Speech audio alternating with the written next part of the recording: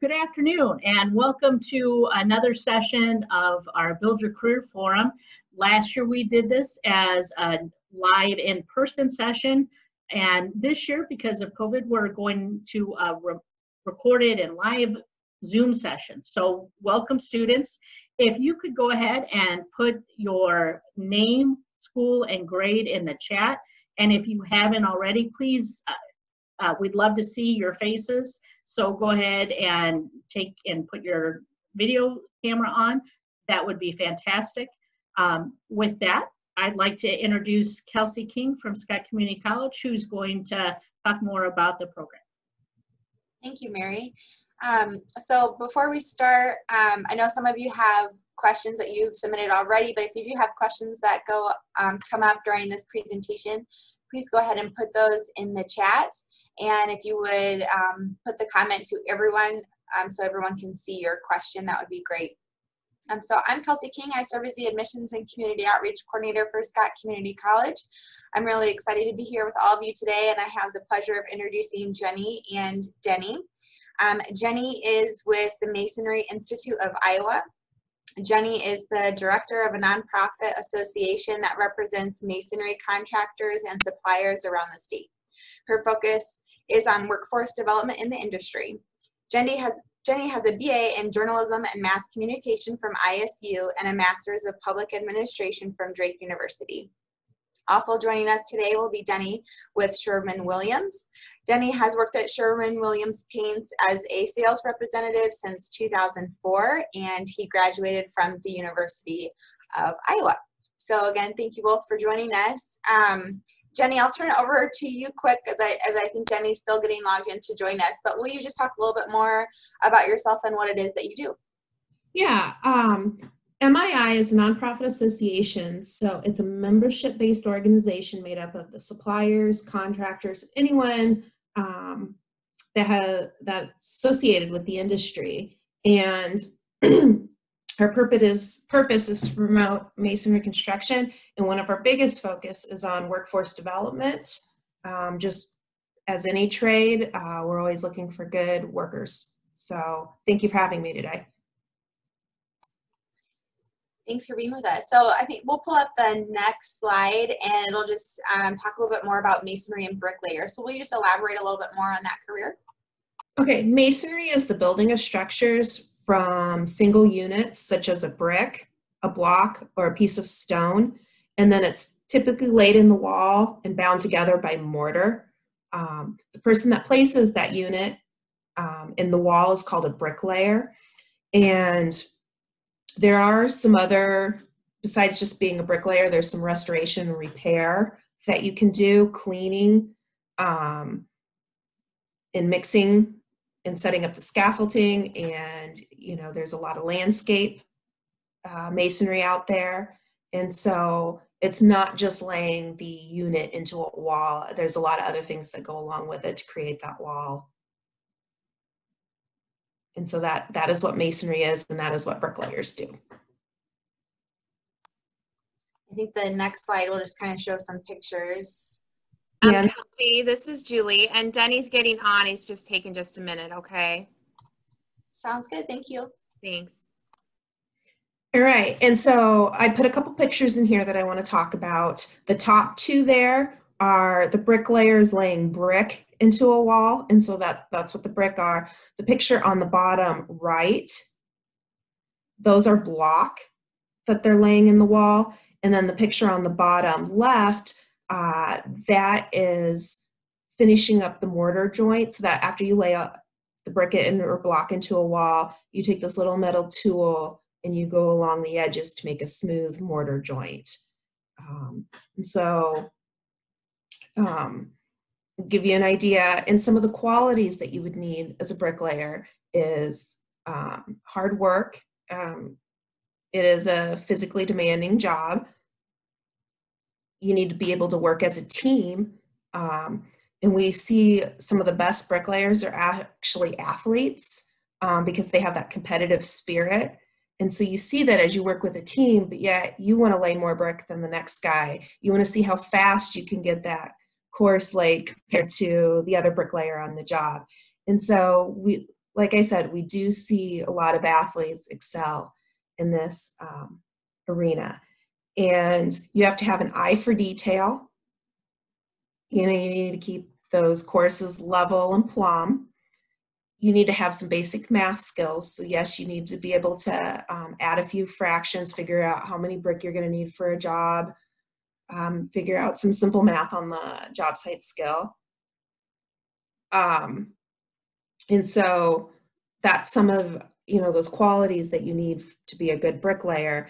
And the thing I think that doesn't get talked about enough is, and this is in every skilled trade, um, the room or growth for advancement is uh, huge.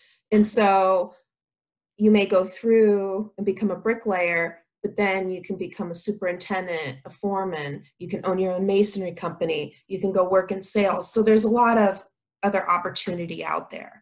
And so I want to mention our website, I want to be a bricklayer.com that has all the information about what it takes to be a bricklayer, how you get into it. And so here in Iowa, um, most of the state, um, the only training program in the state is the local union, which is BAC, Bricklayers and Allied Craft Workers. Local 3 covers most of the state of Iowa. If you're actually in the Quad Cities, you are on the um, Quad Cities, which is the local six from Illinois, and you're over in Omaha, you're over in the Nebraska um, Union. And so they offer a four year apprenticeship at no cost. So you're not taking on any college debt. And over the course of those four years, you uh, learn the skills of the trade. So after your fourth year, you're considered a journey person. You know, you're you're advanced at your skill. Um, and so a lot of it is earn while you learn. You're you're on the job site learning from the other bricklayers. You as a pre-apprentice, you send you attend a eight-week course that they put a trowel in your hand to teach you the basics. And some of the other benefits that the union training provides you, you it's got some amazing benefits with health care and retirement. You don't have any college debt and you can earn up to 44 credit hour community credit um, hours towards an AA degree um, by attending the BAC training. And Jenny, what's the age on that? That's a question a lot of students seem to have in these sessions is how, what age um, can they start getting some You need to be 18 to enter the apprenticeship program and have a high school diploma or a GED. And when you come off, uh, so probably the thing you want to know most is how much do you get paid? And so coming off after your four-year apprenticeship, your total package, and it does depend where you're working at in Iowa, but you're looking around $50 an hour with wages and benefits. And so what it is when you start out, you're probably making closer to 15 to $18 an hour plus benefits, and you're getting raises about every six month. Uh, they're in demand, so they're paying above scale. And you can find um, some of that information, like I said, on the I want to be a bricklayer.com on the, the pay scale and everything. What are some of the hours that bricklayers work? What's their day look like? Um, usually it's early mornings, especially during the summer. Um, you know, they're going to start at 6, 7 a.m., be done by early afternoon. Uh, this day and age, they can work year round if you want, um, because they're they'll have indoor work or they will tent the job sites so that they keep um, everything warm enough to lay the brick. Yeah, can you talk a little bit more about the conditions? I mean, I see workers up on the scaffolding there. Obviously, they're high up off the ground. Mm-hmm. Um, you said they can work year long. So can you speak a little bit more about the elements and the work conditions that they are? It's, it is mainly an outdoor job, so you are out in the elements. But like I said, um, to lay mortar, it has to be 40 degrees. So if you fall under that 40 degrees, they're either moving inside to work, you know, you'll have the day off, or they are going to set up um, a temporary enclosure that they heat up um, to keep. Because I've been out on a job site on a very cold day where they had it tented and it was nice and cozy in that indoor space that they set up. So.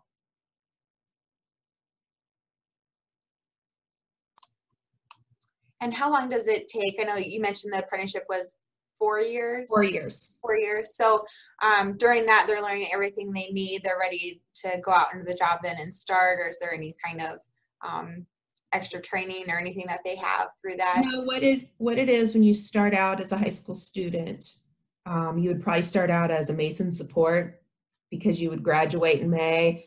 We would help um, find an employer for you to work for, and you would do everything a bricklayer doesn't. So you'd be setting up the scaffolding, mixing mortar, you know, driving the skid loader around, delivering pallets of brick and block, and then you would enter the next spring in March and April, and you would do the pre-apprentice program, which is eight weeks of training. They'd get the trowel in your hand, and then you would go back on the job site June one or May one as a first year apprentice. And they would actually then you would be able to get on the line and start uh, being a bricklayer and from there over the next course of the next three years you are usually going back into training for a week to two weeks usually during the winter months um, to get that additional training that you would need to keep building your skill set I know before you said that athletes typically do pretty well, just that competitive nature that they Mhm. have. But can you speak to some of the like physical conditions? Is a lot of like heavy lifting, or um, can you just talk a little bit more about that? There is. Uh, so a block weighs about four, or brick, uh, yeah, block weighs about 40 to 50 pounds, depending on what it is. And, um, you know, a lot of times they move that with um, equipment. They'll put, as you can see kind of in that picture there, um, the one where there's some brick laying there. So they bring it to you, so you're just lifting, turning around, lifting, putting it in the line. And so um, there there is, you know, some that physical element. But yet again, on the other hand, uh, you're not going to need a gym membership. What are some of the um, highlights of being a bricklayer, and also what are maybe some of the drawbacks or challenges that they face? Um, one of the highlights is you get to work on some really cool projects, and those structures are going to be around for a really long time. And I can tell you, every bricklayer out there, when they're driving down the road with their family or friends, and they go past a building that they helped build, they're going to look over, point at it, and say, "I built that." So it's going to be around, you know, masonry is going to last for hundreds of years. So you take pride in that job of what you built because you're you're going to see it. You can point it out to friends and family. Um, you know the drawback is you know it, it is a physically demanding job. You know we're not going to sugarcoat it. You know you're you're you're putting in hard day's work. Um, and so that's something you've got to decide if you're used to that hard work you know it, it won't be an issue but it can be if it's not something that you're used to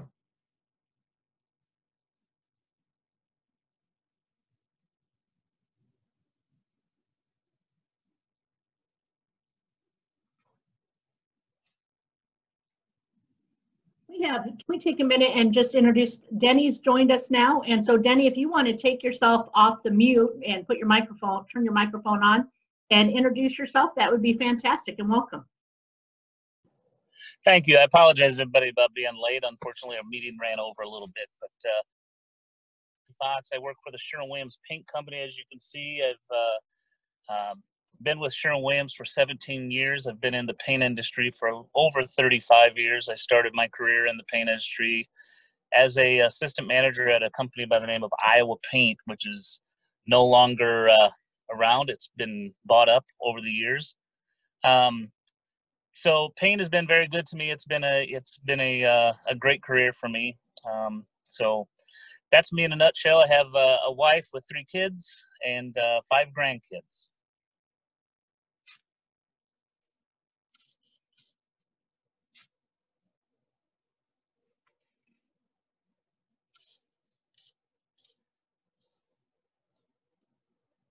And Denny, you want to tell us a little bit about the painting world and some of the education and training that you may need?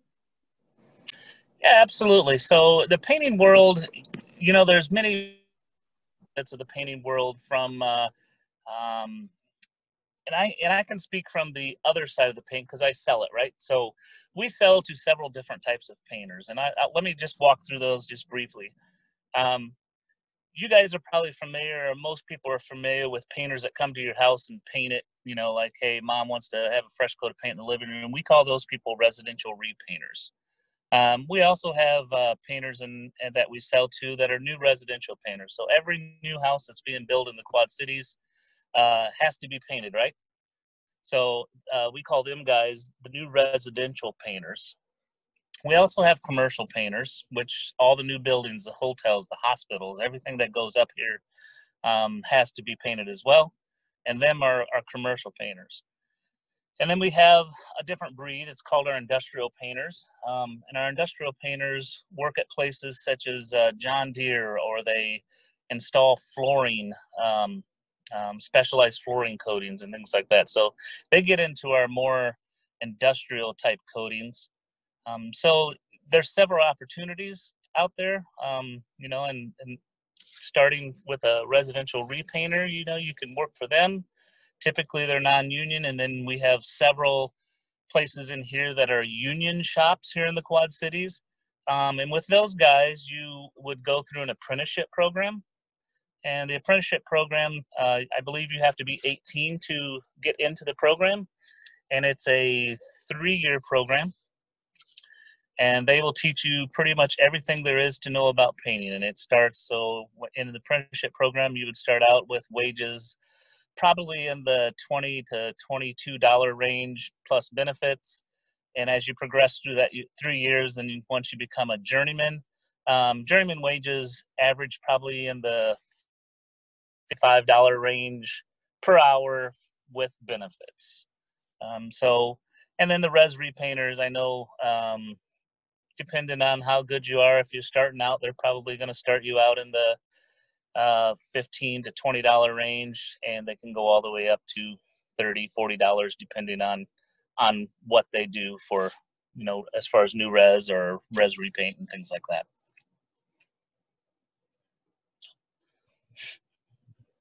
So denny what are some of the hours or typical work week look like for a painter um, once again, it depends on which side you do, but uh, most of my crew, I'll start at the upper level of the, the union shops and the big commercial guys, they usually start their day between 6.30 and 7 in the morning. Um, and then they work from 3.30 to 5, depending on the, on the project. Um, our residential painters, as you can imagine, people are in their houses, so their days usually start between 8 and 9. And then our new residential painters, they're the ones that probably work the longest hours. They probably work from 7 and then they can go to 7 or 8 at night depending on if the house has to be done, you know, if there's a parade home and things like that. So um, they may work a little longer hours. Um, the nice thing about new residential is that there's really nobody in your way, right? So it's a new house, you can go in and and get your job done, and it's kind of quiet. So them are the typical hours. Can you talk maybe a little about the education or training that you need? Absolutely. So, like, I said, with the union, they will give you that training, um, and they uh, usually hire a couple times a year. I know right now uh, that they are looking for apprentices. With the new res or the res repaint guys, that's really, um, you know, if you have an interest in it, that's just really trying to find somebody that's looking for help. And right now, everybody's looking for help. Um, and they would do on the job training because each one of those guys are individual. They like to have you do things the way they've done it. So they train you in on an individual basis for that. So what, what age do you hire? So if there are high school students wanting to get into this career, um, what are some things they can start doing now? Are they um, able to be hired by you guys? Well, so again, I'm on the other side of the table, so I'll speak about Sherwin Williams as well, if that's okay. So the answer to your question is, is yeah, we we hire people in our stores. You wouldn't actually be a painter, but you would be on the other side of the bench mixing the paint and dealing with the paint. And we do hire uh, high school students as part-time help, and then you can work your way into what we call a manager training program. Uh, manager training program. Simply, you go through a program for a year, and then you come out of that program, and you'd be an assistant manager in one of our stores. And then uh, within a year of that time, or after a year, roughly, uh, and assuming there's an opening, you can move up to store managers. And then, uh, so you can progress through a company pretty rapidly if you like, if that's your desire. Our comp, uh, I'm going to tell you, it's the greatest paint company I've ever worked for, and I've worked for three of them in my career. So Sherwin Williams is uh. Flipping back to the painter side, I am sure that there's plenty of painters out there that would hire high school kids for helping. The the issue that I would say that most of them will have is that most of them work during the day. So there's some weekends that they work, um, and I would say the union shops you would not be able to as a high school kid work for there because it's apprenticeship program which, which requires you to be 18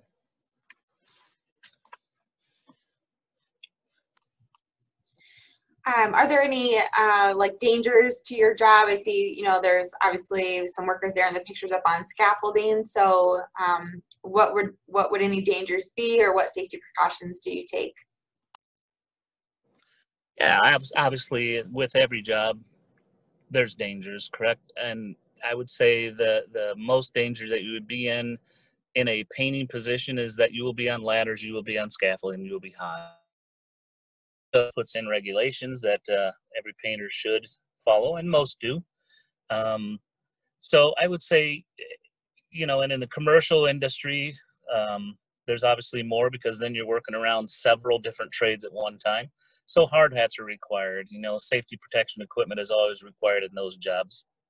Um, you know the res repaint guys they're really kind of all by themselves so and so is the new res guys they're kind of by themselves so there's not as much uh, safety equipment required for that and the dangers are a little less just because there's no other trades there with you but um, of course paint is as we all know it's even though it's come a long way in all the years i've worked here it's still a toxic material right so respirators and things like that are always a good idea um, to wear when you're working around the paint industry. And we um, do have a question in the chat. So the question um, is you both have non-traditional bricklayer and masonry related careers. How do you get involved and why did you choose your current positions? Well, I can speak to that. So uh, how I got involved was um, I went to the University of Iowa, as you can see on my uh, bio there. I went to the University of Iowa and I completed two years in the University of Iowa and I decided, you know, I gotta pay down my debt. So I went back home here to the Quad Cities and started working at Iowa Paint uh, that summer to make some money and uh, decided that it's not such a bad deal. It was a good deal and it was a good company and I liked what I was doing. And that's how I got involved. And now 35 years, 35 years later, I'm I'm continuing to do it. And um, I progressed up through the ranks. So now I'm a I'm a, a commercial sales representative for Sherwin Williams, which is is about the top level of sales rep you can be. And then next part is management, and I I didn't personally have an interest in that, but uh, if you work for a company like ours, you can certainly get in the management side and progress up quite a ways too. Jenny, do you want to add to that? Yeah, I, I started out on the association side, the nonprofit side, and had never worked for construction industry before. And it really opened my eyes to how great of career opportunities and how great the industry is. And so I recommend all of you, you know, to consider um, career in the skilled trade, whatever it may be, masonry, painting, or the other ones that are out there. So. And I might add too that uh, in the masonry industry and the painting industry, we typically work hand in hand as those guys are bricklayers and and the stuff that they do. Eventually, everybody wants to change colors and stuff, so we we typically work with them on almost every project that is where coatings are going to go on that. So uh, both careers have uh, have great potential for you guys.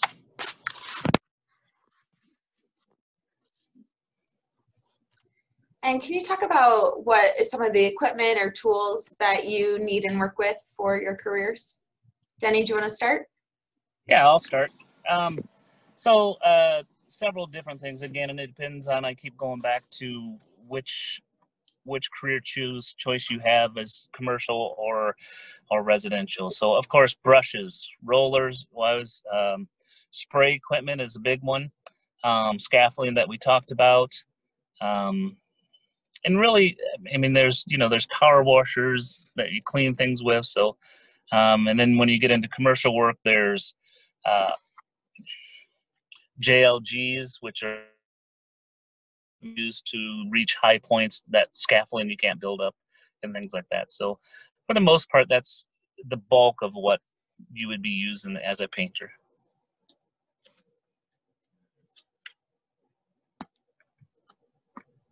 So in the masonry industry, your number one tool is a trowel. And then you've got different trowels depending on what you're doing. There is some tuck pointing equipment, and what tuck pointing or repointing is, is the mortar only lasts probably 50 or so years. So every so often you have to go uh, um, fix it. And so you're taking the old mortar out, putting in new mortar or caulk. And so there's special tools for that. You had seen on the picture earlier a joiner, which is how you finish the mortar joint after you've laid the masonry unit in it. And then you have your mixer to mix your mortar. You have tubs. You have stands that you put the mortar on. Uh, you have scaffolding. You have chisels. You have saws. So there's a wide variety of tools that you're going to use on the job site and that's all something that you learn you know with your apprenticeship and with experience so are those tools that you both mentioned something that the employees have to provide or is that provided by the employer typically for our apprentices in our end in our end of the painting end i would say that most of the time they are in, provided by the employer uh, i know in the union shop they expect you to have a I believe they call it a gaff bag. Now, I could be wrong, but um, they supply your first set of tools, brushes, rollers, and things like that, and then typically after that, you normally have to pick up your own. So for masonry, when you go into the apprenticeship program, there's a tool bag that you purchase at 50% off. Um, you know, so it's it's not too expensive. And so that you know you are responsible for some of your own tools but all the big um, equipments the saws the mixers that's all provided by the company so is there like a trailer or a van or something like that that's provided to the employees to use or do they use their own um, form of transportation to and from these sites or how does that work for masonry it depends depends where the job site is. Um, so if it's in Des Moines and the crew is from Des Moines, they're just going to drive to the job site. But if they're traveling, um, there's vans and trucks that kind of carpool. Um, so it just it all depends. And the and the same thing with painting. If it's if it's local stuff, typically you just go right to the job site. There's some uh, painters that have shops. Then guys would meet or girls would meet in the shop and uh, possibly start their day there. But for the most part, yeah, you travel to the job site on your own. I had um, asked this question to Jenny earlier, so, and Jenny, I want to ask it to you as well. Um, what are some things that you enjoy most about what you do, and what are some challenges that you face? Uh, probably the most enjoyable part of my, my position is, is that I get to meet new people every day.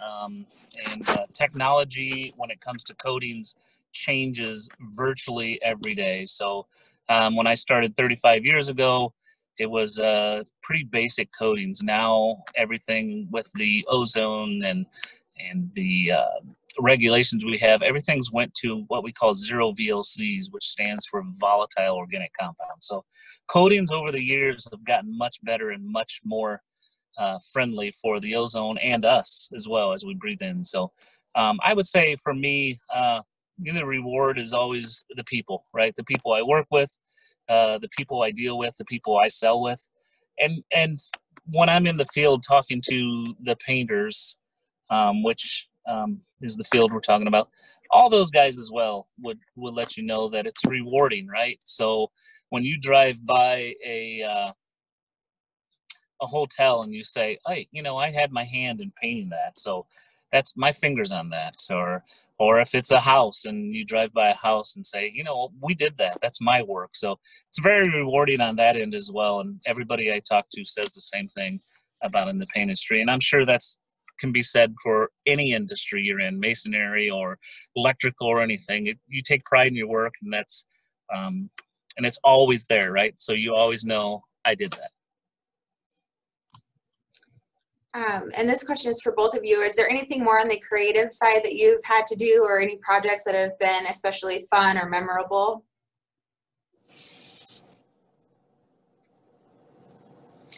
Um, yeah, for me, for me, it was. Um, I would say probably the the most memorable one that I had is that I had a hand involved in the big sky bridge that was built in downtown Daphne a few years ago. So that was us specifying it and and getting the products for that, and um, so that was good. And then probably the other big one is the Genesis Tower that they just did a couple years ago. Um, we put a new type of coating in there, and it's a, a coating that is will actually kill staph and MRSA and things like that. So it's a coating we put on the walls that actually kills um, form of bacteria. So that was pretty exciting that we are leading the industry in something like that. So we got some of that in the in the hospital. So that was probably a highlight. And what about for your side, Jenny? Anything creative or memorable? Yeah, um, there, gosh, there's been several. Um, recently, one of my contractors uh, had had the contract to redo a bunch of brick at the state capitol in the dome. Um, I don't know if you you all realize, but that dome is actually brick, and then it's covered with like gold sheeting. And the original brick, oh, close to probably 200 years old. It was handmade brick on site. So over the years, it's it's the technology to make that brick isn't what it is today. So the brick starts deteriorating after a couple hundred years. And so they went in there and they're like hanging off the dome underneath with the scaffolding, redoing it. And I got to go tour while they were doing it. Um, I got to go walk around the dome at the top where and I don't know how many stories up our Capitol is, but um, walk around and they had a porta potty out there on the scaffolding and top of the dome. And so that was really cool. And then um, another project is in Des Moines as well. It was a sculpture that they did along the Riverwalk where they took brick and they cut it down so they made a cylinder. It looked like a solo cup. And so every single brick was actually hand cut to fit.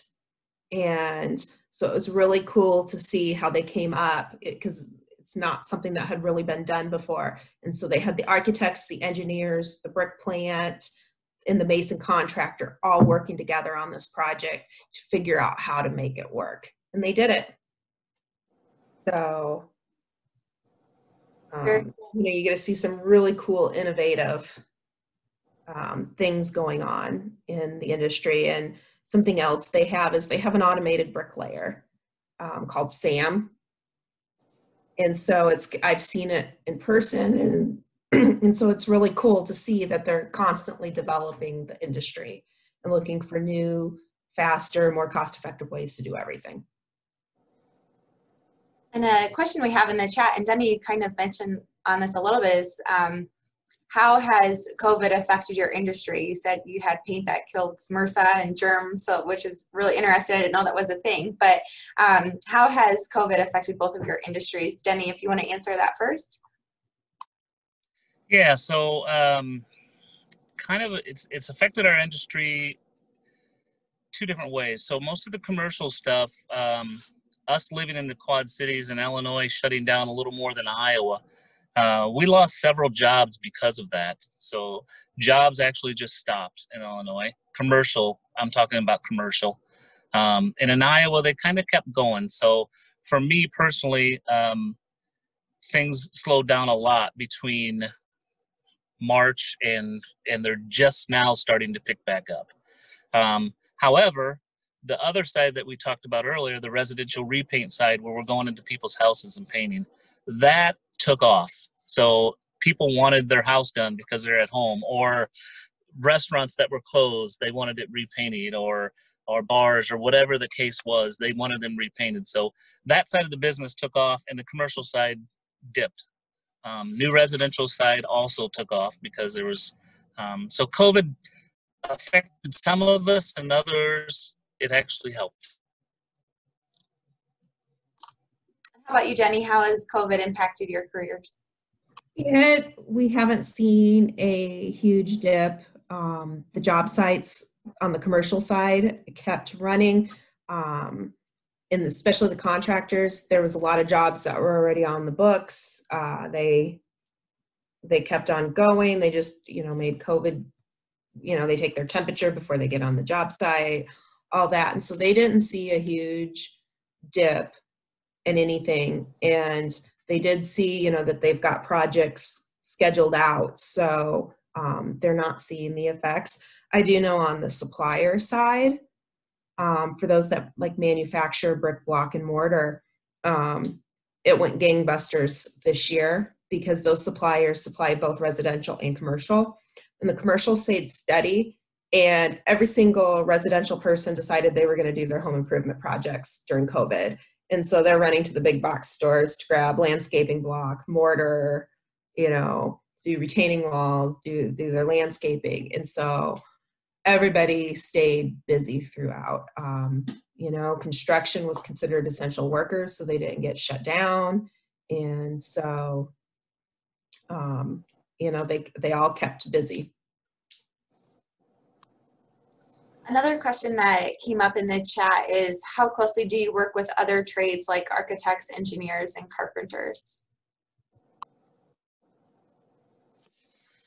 Well, I'll answer that. For me, I work uh, very closely with the architects, engineers, um, carpenters, drywall, the drywall side of things, um, and the masons, like I said. So, um, in in my industry, when we're looking at projects, uh, the specifications, uh, I don't know if you guys have ever talked about specifications, so forgive me if I'm overstepping and they don't understand this, but a specification just is a booklet that says this is what we expect out of this building being built, and there's several sections. So um, we look at every section because there's probably some type of coating in each section, be it uh, masonry, be it uh, drywall, all of those sections have some type of coating that are going to go on it.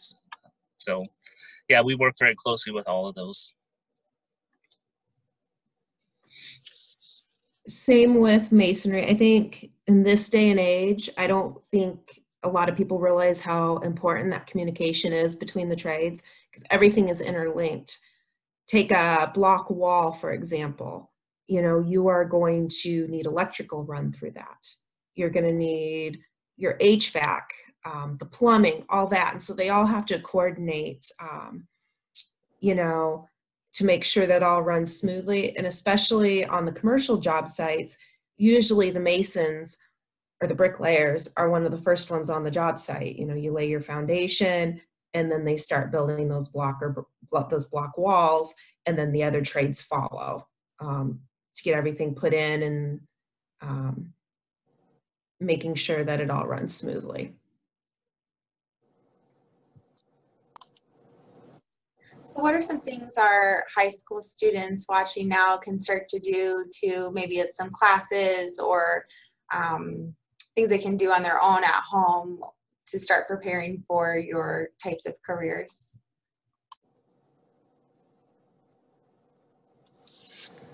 Well, as far as painting goes, obviously just uh, pick up a brush and roller and, and, you know repaint your bedrooms or whatever. That'll get you started. Um, uh, if it's if it's a career that uh, you want in the the commercial side of the industry, um, don't be afraid to reach out to myself. Reach out to, um, you know, the hall, the union hall, and talk to them about that as well. And and I would be happy to supply. I don't have the number here, unfortunately, I didn't get it, but I would be happy to supply that. Or if anybody wants to call one of our paint stores, they can do that as well. And if you decide that uh, maybe you don't want to put it on the wall and you want to be in the paint store, by all means, you can uh, call one of our stores and they can get you in touch of how to handle that as well.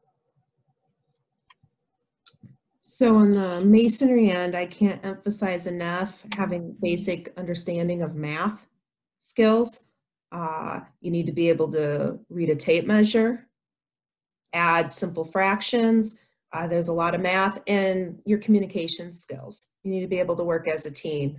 Uh, those group projects you do in school, it's going to be the same way in the job site. You know, you're meeting with the other uh, industries to work together. You're working with your team of other bricklayers, the super, your superintendent, the job foreman, you know, uh, communication. And so if it is something you are interested in, the our local union that does the training program has a lot of opportunities to meet with you, to talk about that skill set, to get you on a job site so you can job shadow and you know set up a time if you want to put a trowel in your hand and see if it's something you enjoy. So uh, there's a lot of opportunity to dive in more as well as getting, you know, your just basic education because they are skills you are going to use. Yeah, that's a very good point. I would agree that uh, math is a big skill for all the trades. Um, you're going to have to figure square foots and things like that. So you know, it's it's we're not talking calculus and we're not talking all the other stuff, but um, basic math is is very important. So I believe um, I've answered all of the student questions that there were. Mary or Julie, did you have any question, other questions for Denny or Jenny? Julie added in the chat, um, you can contact her and I'll let her talk a little bit about that. Um, one question I have that we've had at every single question, I know you've kind of both touched on that.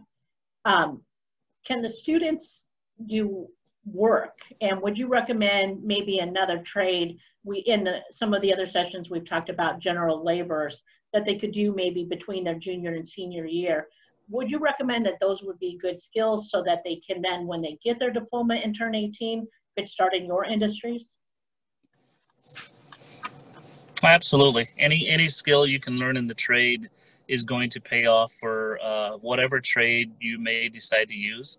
And I know the Davenport school system, and um, they have a student-built home, and that may be something that uh, you can learn several trades in while also building the home. So that's that's something that uh, may be of interest, you know. And I I don't know the students we're talking to if they're seniors now or if they're juniors, but I want to say that you can be a junior or senior in that program, um, which has been very good over the years. And With- um, on that note, Denny, um, even if you're not part of the Davenport Student Built Home or the North Scott Student Built Home, if you're at Pleasant Valley or um, I, I'm not sure about Bettendorf, but I know for Pleasant Valley, you can um, do the student built home. You would just be going to um, Davenport or North Scott to, to participate in that.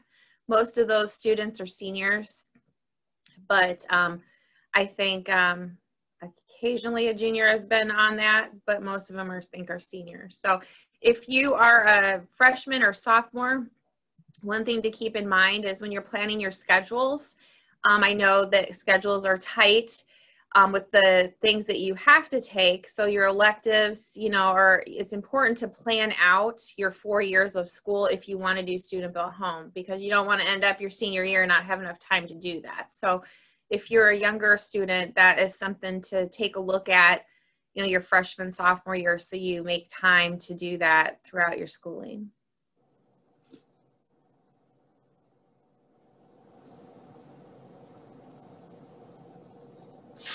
So I just, Oh, go ahead, Jenny. I just want to note on our end for any anybody that's interested. For most of our contractors that are union, you need to be 18 to be on the job site. So, you know, once you turn 18, you probably could look at getting a part-time job. But another great way to get that experience is to ask to do a job shadow. You know, they'll take you out on the job site, let you see it what a job site looks for, you know, firsthand. So, you know, I encourage all of you to, you know, to explore your options that way as well. Are the industries, in your industries, Denny and um, Jenny, taking job shadows right now, or are they on hold because of COVID? For us, it depends on the job site. The contractors and the union have no issues with it, but there, there may be some that aren't allowing visitors. Um, So, but, I mean, there's enough going on that they can, they can find one. They can find a job site for you. And unfortunately, I can't answer that question. I wouldn't know the answer to that. Thanks. And I just want to note too, Lauren did put in the chat that any Davenport juniors that are interested in learning more about student built home, program um, to contact her. And she did provide her email there, in case you didn't see that.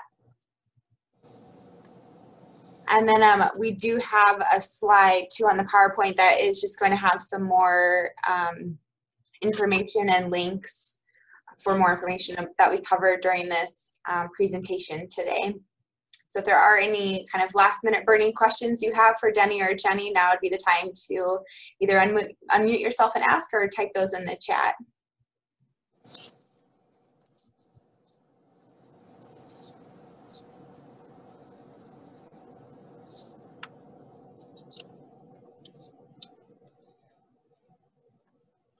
There's, I'm not seeing any other um, questions in the chat. Mary or Julie, if you don't have anything else.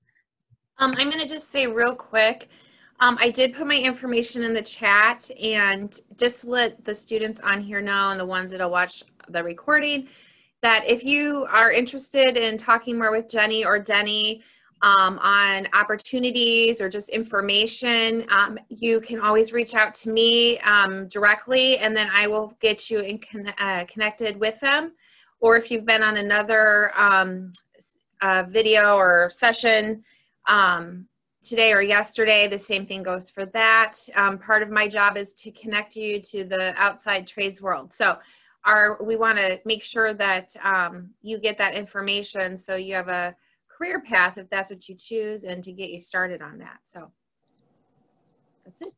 And I'd like to add, students that are interested in the job shadow aspect, you can contact Ms. Hargrave, myself from PV, um, Haley Hoyt from Bettendorf. You're on, if you're there on Bettendorf, Illinois, you can talk to your counselors and they can connect you. You can also tell them to reach out to uh, Ms. Hargrave or myself, uh, and we'd be happy to help uh, set up those job shadows opportunities. Well, on that, thank you so much to Denny and Jenny for spending um, some time with us. A lot of great information. The students for submitting your wonderful questions and hope everyone enjoys the rest of their day. All right, thank you, everyone. Yeah, Thank thank you you. everyone for joining us and allowing us to be part of your meeting. Thank you, Denny. Thanks, Jenny.